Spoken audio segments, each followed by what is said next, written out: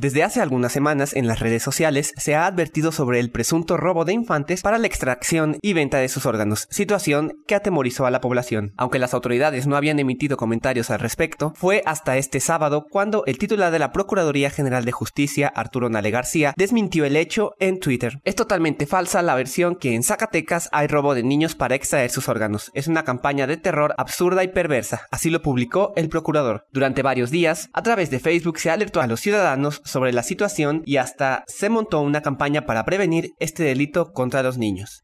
México Explorer.